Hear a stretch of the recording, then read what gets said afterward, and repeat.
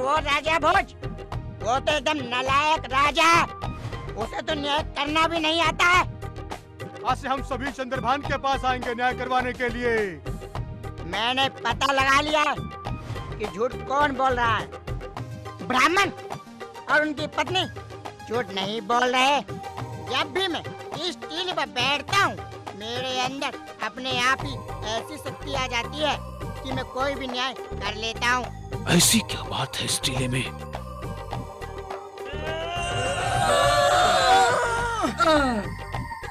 आज से हम इसी सिंहासन पर बैठेंगे।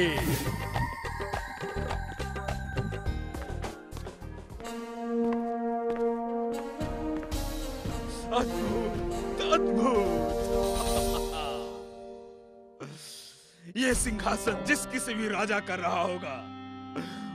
मैं इस पर बैठकर उसी राजा की तरह न्याय करूँगा।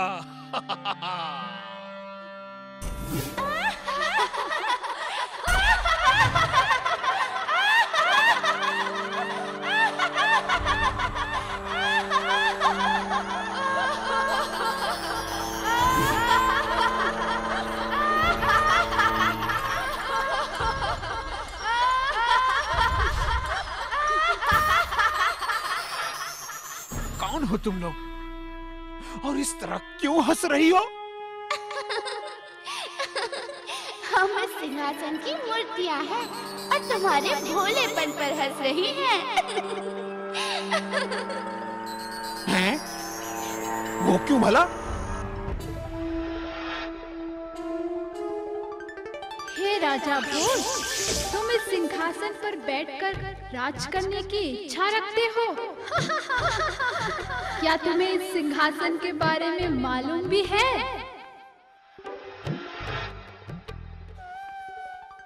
सोने से बना और हीरे मोतियों से जड़ा। ये सिंहासन है सिंहासन बत्तीसी क्या तुम्हें मालूम है कि ये सिंहासन किसका है?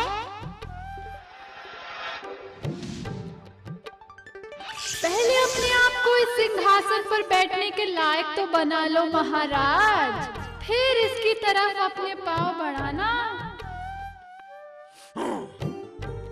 मैं सबसे अधिक बुद्धिमान सबसे अधिक दयालु और सबसे अधिक शक्तिशाली राजा हूँ।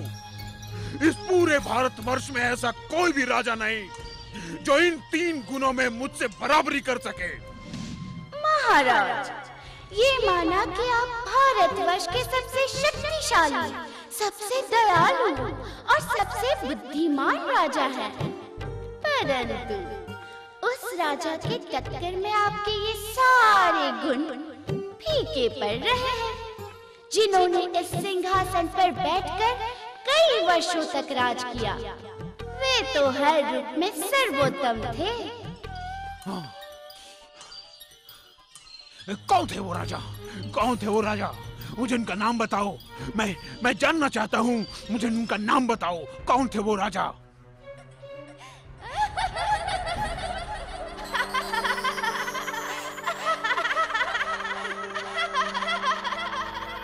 ऐसे सर्वश्रेष्ठ राजा को जानना इतना आसान नहीं है।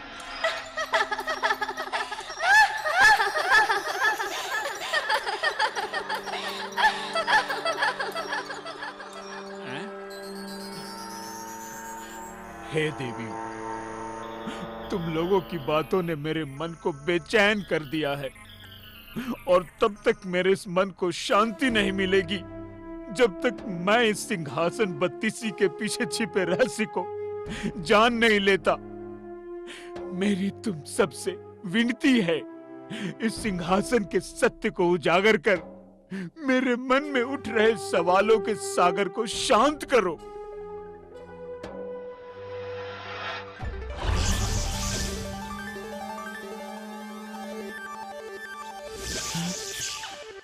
हे देवी कौन हो तुम? राजन मेरा नाम रत्न मंजरी है। और हम जिस सर्वश्रेष्ठ राजा की बात कर रहे हैं वो सर्वशक्तिमान दयालु और बुद्धिमान राजा थे राजा विक्रमादित्य। हाँ? राजा विक्रमादित्य? हाँ राजन। राजा विक्रमादित्य। मैं आपको ऐसे शुरवीर राजा के जीवन से ली हुई एक कहानी सुनाती हूँ।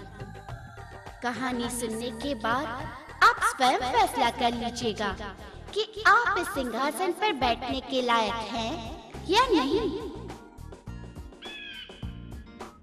बहुत बहुत वर्ष पहले की बात है।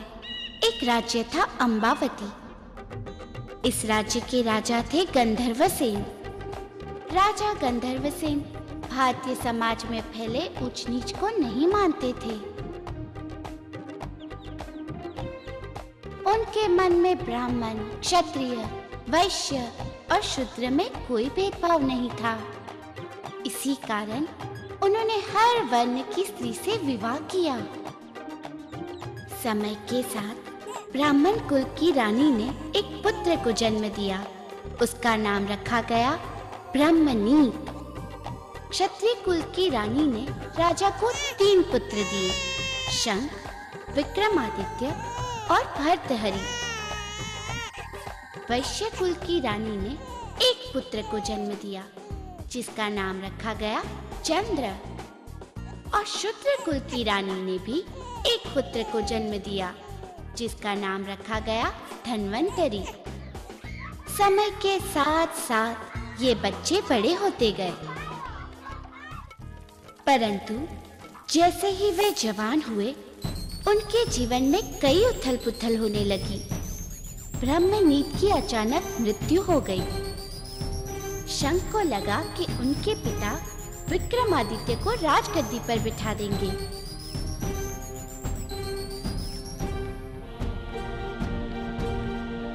इस भय से उसने अपने पिता को मार दिया।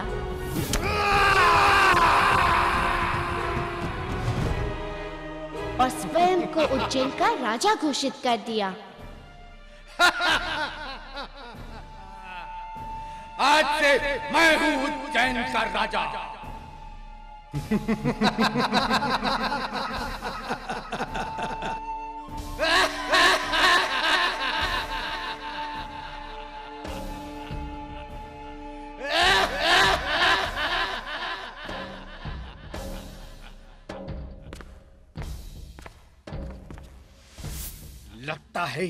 चारों राज्य छोड़कर भाग गए। सैनिकों, राज्य का कोना कोना छान मारो। ढूंढ निकालो चारों को और जहाँ मिले, वही खत्म कर दो इनको। कोई नहीं बचना चाहिए। कोई नहीं। जाओ!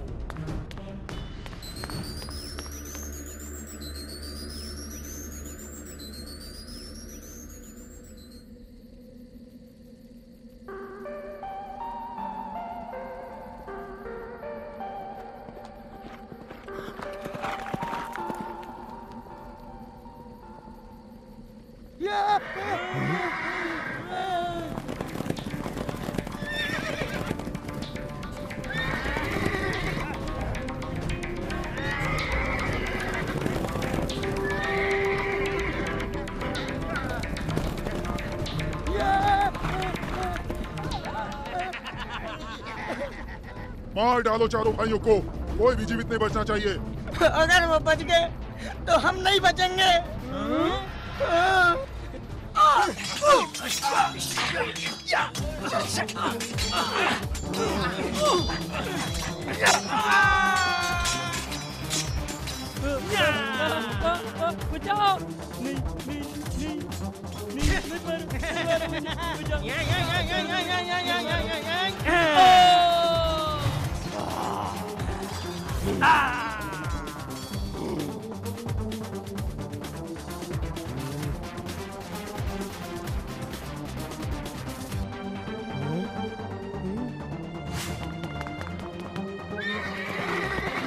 पीछे करो विक्रमादित्य का बचना नहीं चाहिए।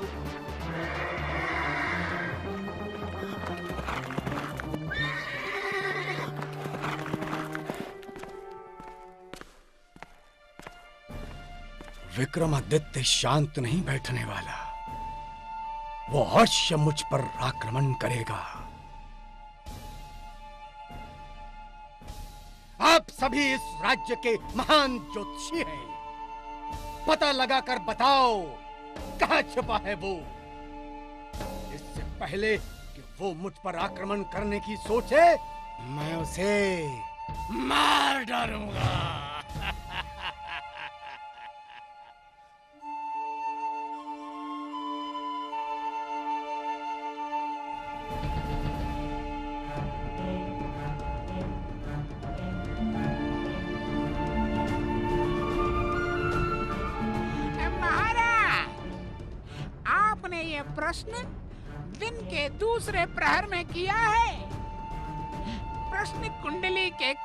गणना के अनुसार विक्रमादित्य यहाँ से दक्षिण दिशा में 500 कोस दूर घने जंगल में छिपा हुआ है।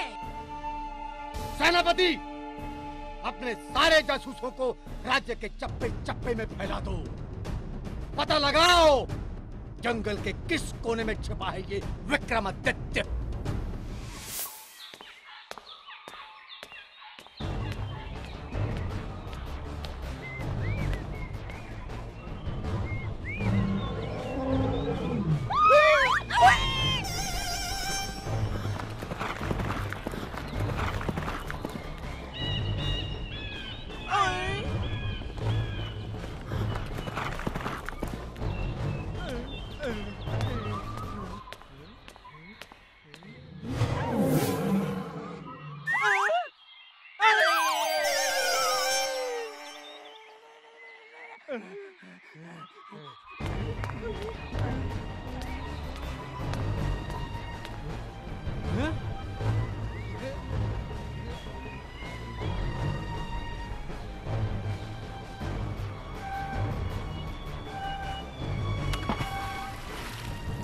रहा विक्रमादित्य।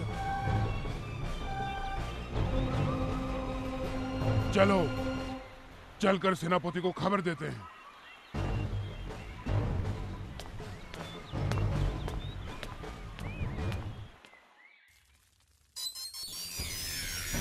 ओम कालियाय नमः ओम चामुंडाय नमः। ए तांत्रिक समझ गया ना क्या करना है तुझे? ओम नमः।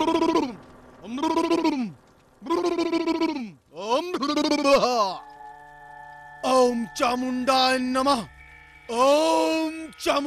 नमः। आप बिल्कुल चिंता मत कीजिए। मत कीजिए चिंता। विक्रमादित्य को तनिक भी शंका नहीं होगी।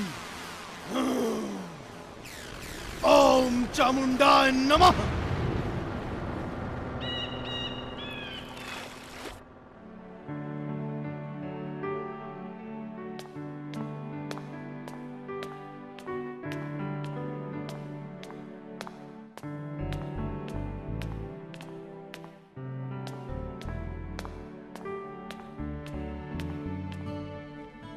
हे योगी तेरे जैसा सुंदर और बलवान पुरुष इस जंगल में तप कर रहा है।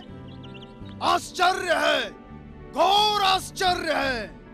महात्मन मैं तप करके अपने मन को शांत और अपने जीवन को अनुशासित कर रहा हूँ। पुत्र अति सुंदर विचार है। तो आजा मेरे साथ माँ काली के चरणों में झुककर सच्चे मन से ध्यान कर। माँ काली तुझे शक्ति प्रदान करेगी। पुत्र चाह होती है, राह वही होती है। तेरे मन में श्रद्धा जागी है। पुत्र तो मैं तुझे राह दिखाता हूँ। माँ काली के मंदिर की तो आजा मेरे पीछे आजा।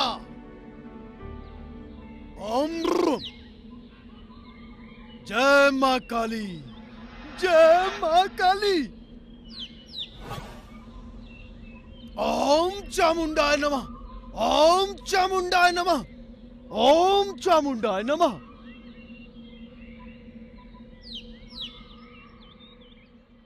जय माँ काली, जय माँ काली। बेटा, चले आओ चले आओ माँ काली के शरण में। जा बेटा, और जाकर झुक जा माँ काली के चरणों में। जा जा बेटा, देर मत कर। ये तांत्रिक बार बार मुझे माँ काली के चरणों में झुकने के लिए क्यों कह रहा है? कहीं इसमें इसकी कोई चाल तो नहीं? हम्म, ये मेरे लिए नई जगह है। यहाँ मुझे सावधान रहकर इसे परखना चाहिए। किसके ध्यान में खो गया पुत्र? सब ध्यान मिथ्या है। बस माँ का ध्यान कर। और झुक जा इनके चरणों में। जा। क्या सोच रहा है? है महात्मन क्षमा करें परंतु पहली बार मैं माँ काली के मंदिर आया हूँ। कृपा करके मुझे बताएँ कि कैसे माँ काली के चरणों में झुककर प्रार्थना की जाती है। बेटा मुझे देख ध्यान से देख जैसा मैं करता हूँ वैसा ही कर। ओम चामुंडाय नमः शंख पहले से ही काली माँ के मंदिर में छिपा हुआ था। उसे ये समझ नहीं आया कि माँ काली के चरणों में झुका इंसान तांत्रिक है। उसे तो लगा था कि वो विक्रमादित्य है। वो अपने छिपे स्थान से बाहर निकला और बिना कुछ सोचे समझे उसने अपनी तलवार से तांत्रिक पर भरपूर वार किया। तांत्रिक वही ढेर हो गया। ये देखकर शंख चौंक गया। है? तांत्रिक? तो विक्रमादित्य कहाँ है? शंख, मैं यहाँ हूँ।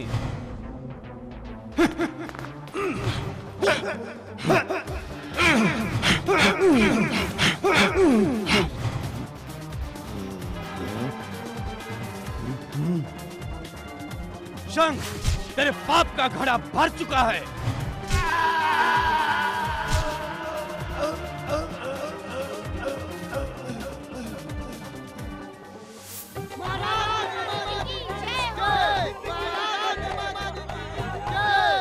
शंख की मौत के बाद विक्रमादित्य उज्जैन के राजा बने।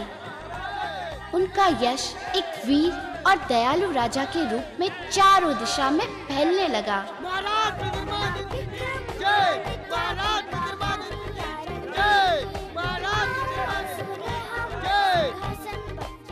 राजन, अब मैं आपको बताती हूँ कि राजा विक्रमादित्य को ये सिंहासन कैसे प्राप्त हुआ।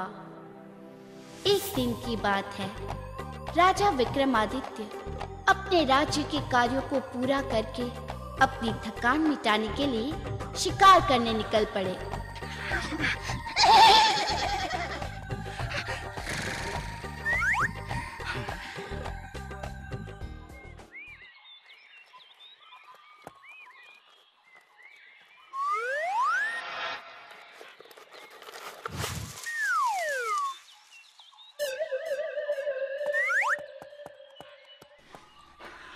ये कहाँ आ गए हम?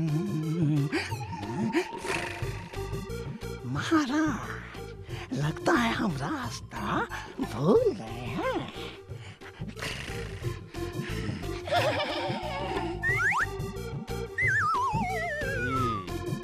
वो देखो, वहाँ वहाँ खुला मैदान दिख रहा है। चलो, वहीं चलते हैं।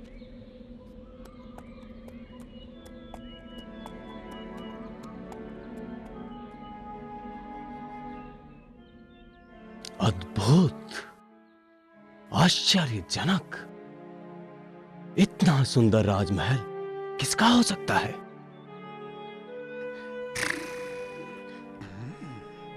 ऐसा सुंदर राजमहल तो मैंने आज तक नहीं देखा।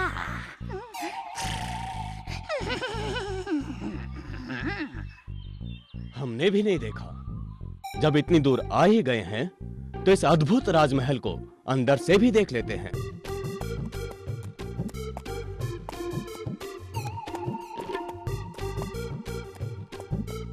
हे अतिथि आपका स्वागत है। कौन है आप? मेरा नाम विक्रमादित्य है। मैं उज्जैन का राजा हूँ। शिकार करने निकला था कि जंगल में रास्ता भटक गया। आप कौन है महानुभाव? मेरा नाम लुतबरन है। और ये महल मेरा है। हे राजन आप इस समय राजा बाहुबल के राज्य में हैं और मैं राजा बाहुबल का सलाहकार हूँ। क्या मुझे इस राज्य के राजा से मिलने का सौभाग्य प्राप्त हो सकता है? आप सिर्फ़ मेरे नहीं इस राज्य के मेहमान हैं। महाराज बाहुबल आपसे मिलकर अत्यंत प्रसन्न होंगे।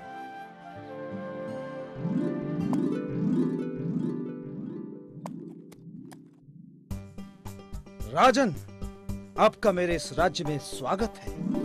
आप जब तक चाहें मेरे मेहमान बनकर यहाँ रह सकते हैं। धन्यवाद राजन। आपका राज्य सचमुच अत्यंत सुंदर है। राजा विक्रमादित्य लुथवरन के राजमहल में ही ठहरे।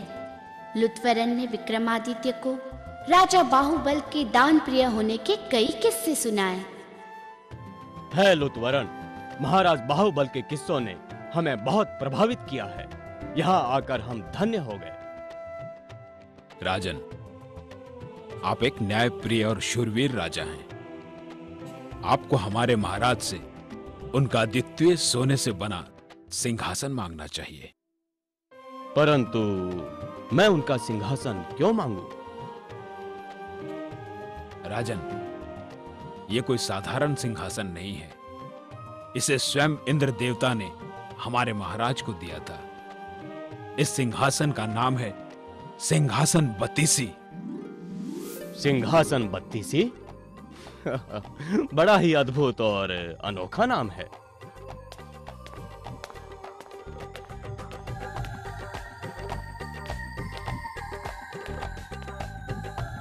आओ मित्र आसन ग्रहण करो। महाराज आपके इस राज्य में रहकर हमें बहुत आनंद प्राप्त हुआ है। परंतु अब हमें अपने राज्य लौट जाना चाहिए। आपने हमें अपनी सेवा करने का मौका दिया। इसके लिए हम आपको धन्यवाद देते हैं। इससे पहले कि आप मुझसे विदा लें मैं आपको कोई उपहार देना चाहता हूँ। अगर आप हमें कोई भेंट देना ही चाहते हैं तो हमें अपना सिंहासन बत्तीसी भेंट कर दीजिए। किसी और राजा ने मुझसे ये मांगा होता तो मैं क्षमा मांग लेता। परंतु आप उन सभी राजाओं से सर्वश्रेष्ठ हैं। अगर कोई इस सिंहासन पर बैठने के लायक है तो वो आप हैं। हे विक्रमादित्य, मैं आपको यह सिंहासन भेंट करता हूँ। राजन, अब तक हमने आपके दान प्रिय होने के किस्से ही सुने थे। परंतु आज हमने देख लिया कि आप सही मायने में इस धरती के सर्वश्रेष्ठ राजा हैं।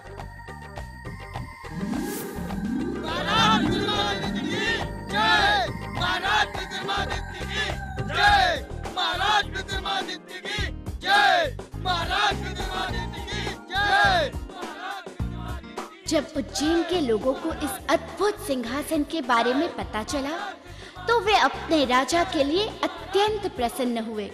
उन्हें गर्व हो रहा था कि विक्रमादित्य उनके राजा हैं। महाराज विक्रमादित्य की। जय। महाराज विक्रमादित्य की। जय। महाराज विक्रमादित्य की। जय। महाराज विक्रमादित्य महाराज विक्रमादित्य की ख्याति दिन दुनी रात चौगुनी पृथ्वी के कोने कोने तक पहुँचने लगी। दूर दूर से कई राजा इस अद्भुत सिंहासन को देखने महाराज विक्रमादित्य के दरबार में पधारे। और फिर उन सब के सामने महाराज विक्रमादित्य ने एक घोषणा की। हे उज्जैन वासियों आज इस खुशी के मौके पर हम एक बहुत बड़ा यज्ञ करवाना चाहते हैं। और इस यज्ञ के दौरान हम एक लाख पचास हज़ार गाय दान करने की घोषणा करते हैं। महाराज विक्रमादित्य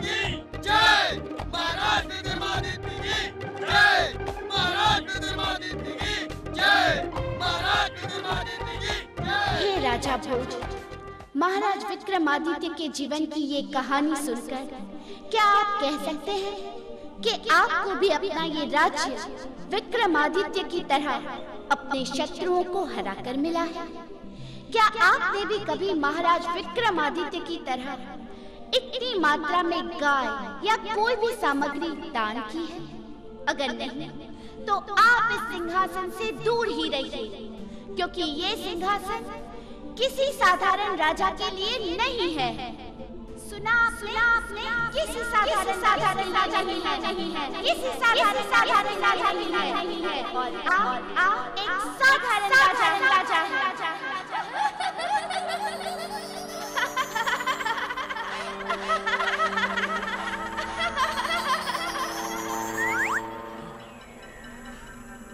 महाराज विक्रमादित्य की ये कहानी सुनने के बाद आज मैं उनके सामने कितना तुच्छ, कितना छोटा लग रहा हूँ। मैं इस सिंहासन पर बैठना चाहता हूँ। नहीं, मैं इस सिंहासन पर नहीं बैठ सकता। मैं इस सिंहासन पर नहीं बैठ सकता। मैं इस सिंहासन पर नहीं बैठ सकता।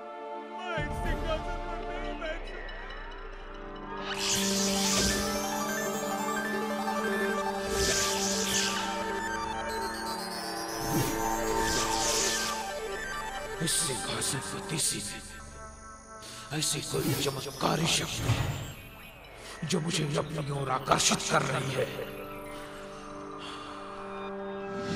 ये सत्य है कि मैं महाराज विक्रमादित्य जैसा नहीं, परंतु मैं भी एक राजा हूँ। मेरा भी यश चारों दिशाओं में फैला है मैं भी उस सिंहासन पर बैठ सकता हूँ। हाँ। मैं सुबह ही उस सिंहासन पर जाकर बैठूँगा और देखता देखता मुझे कौन रोकेगा।